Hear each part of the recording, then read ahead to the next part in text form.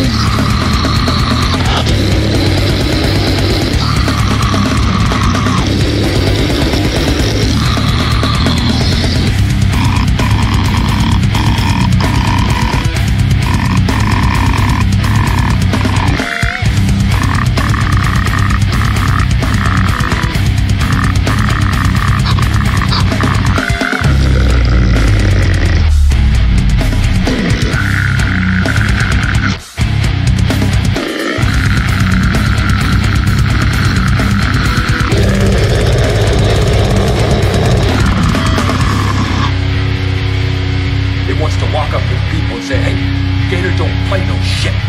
You, you feel me? Gator never been about that. Never, never been about playing no shit. Gator needs his gat, you punk ass bitch.